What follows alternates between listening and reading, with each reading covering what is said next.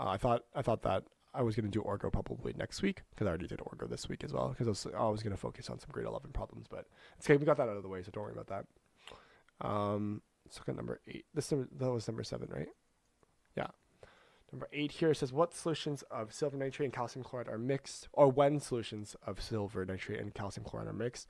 Uh, silver chloride precipitates out of the solution according to the formula. What mass of silver chloride can be produced from 1.26 liters of a 0.10 0.160 molars of solution of silver nitrate?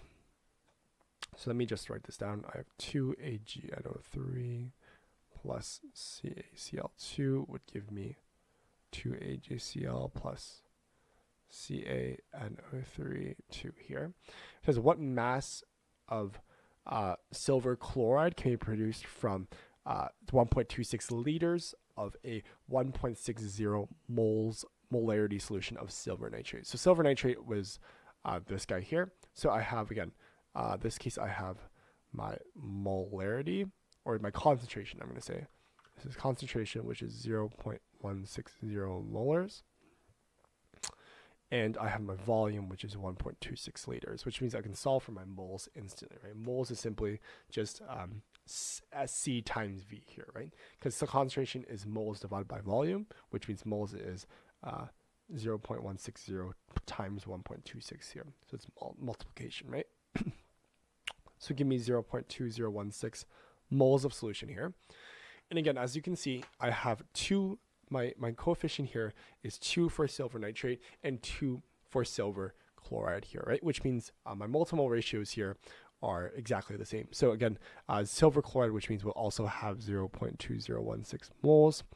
Um, and then simply I would have to basically find the molar mass of silver chloride and then to find the mass of silver chloride. So I'm kind of going, um, uh, I'm kind of just using stoichiometry to figure out this problem here. So I need molar mass and my finally my mass here, right? So silver chloride, again, silver, I have Ag here, which is 107.87. So I have 107.87 plus chlorine, we know it's 34.45, which will give me a total molar mass of 107.87 plus 35.45. We give me a total molar mass of 143.32 grams per mole. And we can simply just um, we can simply just uh, multiply both of these guys to figure out the mass, right? So 143.32 times 0.2016, which would be a mass of 28.89 solution uh, grams, 28.89 grams of solution here. So that's number A. So A here is correct, right? They wrote 28.88. I wrote 89. Same thing. This here is my solution for A, which is awesome. And B here says the reaction described in part A required 3.49 uh, liters of calcium chloride, what concentration of what was the concentration of this calcium chloride solution? So they're now looking at calcium chloride here. So let me do this in blue, and they they required 3.49 liters here. So basically, what I'm gonna have to do is again, if I want to figure out the mole, I want to figure out the concentration, right? I'm gonna have to figure out the moles first. Um, someone says hi. I says hello. I say hello as well. Um, so I'm gonna have to figure out my moles first, right? So if I have 0.2016 and this is a this is has a coefficient of two here, I'm gonna have to divide it by two to get uh, the calcium chloride uh, moles as well. So 0.206, I'm gonna have to divide that by two. 2016 divided by two to get me basically um, basically the um, the the the, the the moles of calcium chloride here. So 0.1008 here.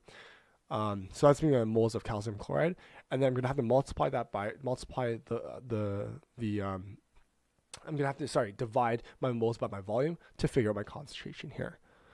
So this guy has a question. Um, yeah, you can shoot. Just uh, type on the chat, and if I have time today, I'll, I'll try to answer the question here. Um, so I have C equals N over V, right? So concentration equals uh, moles over volume. So I'm going to have 0.1008 divided by 3.49 to get my concentration of my calcium chloride, which is 0.0289 here. 0. 0.0, sorry, 0.289 molarity here. And this here is going to be my solution. Again, this here is the correct solution for this answer as well. So the solution here is correct. Solution is correct. Good analysis provided as well. So that's number eight.